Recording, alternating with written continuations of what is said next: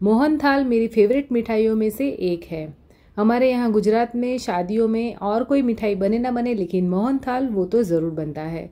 अगर आपने मोहन थाल नहीं खिलाया तो सारे लोग आपको बहुत दिनों तक ताना मारते रहते हैं कि आपने मोहन थाल नहीं खिलाया। तो चलिए, आज बनाते हैं मोहन थाल मोहन थाल एक ऐसी मिठाई है जिसे बनाने से सब डरते हैं, क्योंकि ये किसी किसी का ही परफेक्ट बनता है। सब लोगों से ये परफेक्ट नहीं बनता है। तो मुझे भी बहुत डर लग रहा था क्योंकि मैं भी आज फ़र्स्ट टाइम बना रही हूँ। तो देखते हैं कैसा बनता है। तो यहाँ पे मोहनथाल बनाने के लिए मैंने ले लिया है बेसन। तो ये जो दरदरा वाला बेसन आता है मतलब कि जो चने का आटा आता है, दरदरा वाला, वो हमें लेना है। आप बारीक वाला भी ले सकते हो, लेकिन दरदरा वाला लोगे तो रिज़ल्ट बहुत ही बढ़िया आएगा। तो यहाँ पे मैंने दो कप भर के चने का दरदरा आटा ले लिया है। और एक छोटी कटोरी ले ली है। उसमें मैंने दो टेबलस्पून भर के घी डाल दिया है और दो टेबलस्पून भर के दूध डाल दिया है। इसे हमें गर्म करना है, इसे हमें ज़्यादा गर्म नहीं करना है, इसे हमें खाली गुनगुना करना है। लेकिन मैं कुछ काम करने चली गई तो गलती से ये ज़्यादा गर्म हो गया तो इसे मुझे ठंडा करना पड़ा। तो इसे रूम टेम्परेचर पे आने के बाद मैंने ये जो आटा है उसके अंदर ऐड कर लिया है और इस तरह चम्मच से अच्छे से मिक्स कर लिया है। और अब मैं इसे हाथों से मिक्स करूँगी, क्योंकि ये जो घी और दूध है, वो आटे में अच्छे से मिक्स हो जाना चाहिए। तो आप इस तरह हाथों से अच्छे से मिक्स करोगे तो बराबर से ये दूध और घी आटे में अच्छे से मिक्स हो जाएगा। और अब हाथों से इस तरह दबाते हुए हमें इसे सेट कर लेना है। इस प्रोसेस को हम गुजराती में धाबा देना बोलते हैं। तो आटे को मैंने धाबा दे दिया है और अब इसे हमें 15 से 20 मिनट के लिए छोड़ देना है। 15 से 20 मिनट के बाद हम देखेंगे तो आटे का टेक्सचर कुछ इस तरह का हो जाएगा। चलिए, अब मैंने यहाँ पे ले ली है एक थाली और ऊपर रख दी है एक छलनी। तो इस तरह बड़े होल वाली हमें छलनी चाहिए, बहुत बड़े भी नहीं और बहुत छोटे भी नहीं, मीडियम होल वाली छलनी हमें लेनी है। और अब ये धाबा दिया हुआ आटा हम इसके अंदर डाल देंगे और इसे बराबर से छान लेंगे। तो आप डायरेक्ट छानोगे तो नहीं निकलेगा आटा, लेकिन इस तरह हाथ से आप प्रेस करके इसे छानोगे तो सारा आटा अच्छे से छन जाएगा। और आप यहाँ पे देख सकते हो कि एकदम दानेदार आटा हमें मिल गया है। तो मोहनथाल बनाने के लिए ये एकदम परफेक्ट टेक्सचर है। चलिए, अब यहाँ पे मैंने ले ली है एक मोटे तले वाली कढ़ाई। कढ़ाई को मैंने गर्म करने के लिए रख दिया है। और अब कढ़ाई में डालेंगे एक कप घी मतलब कि एक कप पूरा नहीं डालेंगे, आधा कप घी हम डालेंगे और आधा हम बचा लेंगे। और अब ये जो आटा है, उसे डाल देंगे घी के अंदर।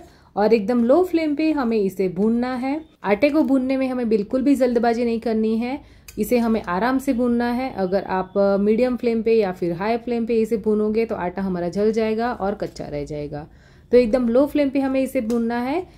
दो से तीन मिनट भूनने के बाद इसके अंदर हम थोड़ा घी ऐड करेंगे और वापस से दो से तीन मिनट भूनेंगे और वापस से जो बचा हुआ घी है वो हम ऐड कर देंगे और इसे हम भून लेंगे। तो तकरीबन इसे हमें 9 से 10 मिनट तक एकदम लो फ्लेम पे अच्छे से भून लेना है, जब तक कि आटे का कलर थोड़ा सा चेंज ना होने लगे और आटे में से अच्छी सी खुशबू ना आने लगे। तो आप यहाँ पे देख सकते हो कि आटे का कलर थोड़ा सा चेंज हो गया है। तो अब इस स्टेज पे इसके अंदर हम ऐड करेंगे मावा। तो ये मावा मैंने घर पे बनाया है। मैंने 500 ग्राम दूध से इसे बनाया है। इसके अंदर मैंने शुगर ऐड नहीं की है। खाली मैंने दूध को जला लिया है और ये मावा बना लिया है। मावा डालने के बाद दो से तीन मिनट हमें और इसे भूनना है। दो से तीन मिनट के बाद आप देख सकते हो कि आटे में बहुत ही बढ़िया कलर आ गया है तो गैस की फ्लेम को हम ऑफ़ कर लेंगे और ये जो कढ़ाई है उसे हम नीचे उतार लेंगे। नीचे उतारने के बाद हमें एक से दो मिनट इसे चलाना है, क्योंकि कढ़ाई एकदम गर्म है तो आटा नीचे से जलने ना लगे, इसीलिए हमें एक से दो मिनट इसे चला लेना है। चलिए अब एक और कढ़ाई मैंने ले ली है, उसमें डाल दी है थ्री फोर्थ कप चीनी और आधा कप मैंने इसके अंदर डाल दिया है पानी। अब हम बनाएँगे चाशनी तो चाशनी हमें मीडियम फ्लेम पे बनानी है। तो चाशनी मैंने रख दी है पकने के लिए और अब यहाँ पे मैंने ले ली है इलायची और जायफल। क्योंकि मोहन थाल के अंदर इलायची और जायफल का टेस्ट बहुत ही अच्छा लगता है तो दो से तीन मैंने इलायची ले ली है। और अब इलायची का मैं पाउडर बना लूँगी तो इलायची एकदम बारीक कूट जाए, उसके लिए इलायची के अंदर हम डालेंगे थोड़ी सी चीनी और इसे हम पीस लेंगे मतलब कि कूट लेंगे। तो ये देखिए, एकदम फाइन पाउडर बन गया है। बीच में हम चाशनी को भी देखते रहेंगे।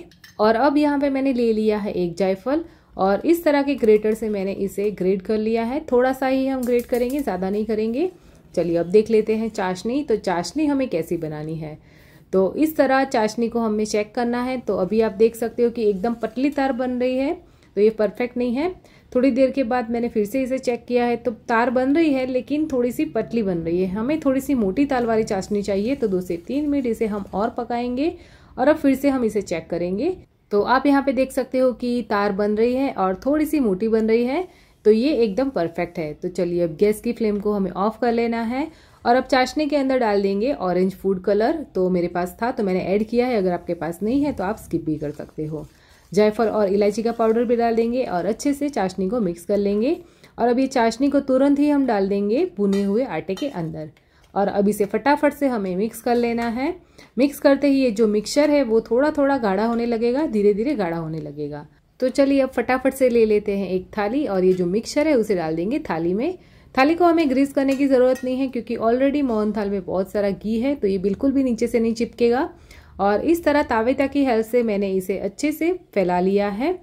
तो आप चाहो तो कटोरी से भी इसे फैला सकते हो। तो ये देखिए, एकदम इवन हमें इसे कर लेना है। तो चलिए अब बारीक चॉप किए हुए ड्राई फ्रूट से इसे गार्निश कर लेते हैं। हमारे यहाँ मोहनथाल को चारोड़ी से गार्निश करते हैं, लेकिन चारोड़ी का टेस्ट मुझे बिल्कुल भी पसंद नहीं है तो मैंने इसे ड्राई फ्रूट से गार्निश कर लिया है। चलिए अब इसमें कट लगा लेते हैं तो आप अपने हिसाब से इसमें कट लगा सकते हो, बड़े, छोटे। तो ये लीजिए मोहनथाल एकदम रेडी है। इसे बनाने में मुझे बहुत ही डर लग रहा था। मुझे लग रहा था कि ये अच्छे से सेट नहीं होगा, लेकिन मोहनथाल बहुत ही बढ़िया बना था, बहुत ही सॉफ्ट बना था और टेस्ट में भी बहुत ही बढ़िया था। तो अगर आपको आज की ये मोहनथाल की रेसिपी पसंद आई है तो प्लीज़ लाइक कीजिए एंड चैनल पर नए तो सब्सक्राइब मिलते हैं जल्दी ही नेक्स्ट रेसिपी के साथ। तब तक के लिए बाय जय श्री कृष्ण।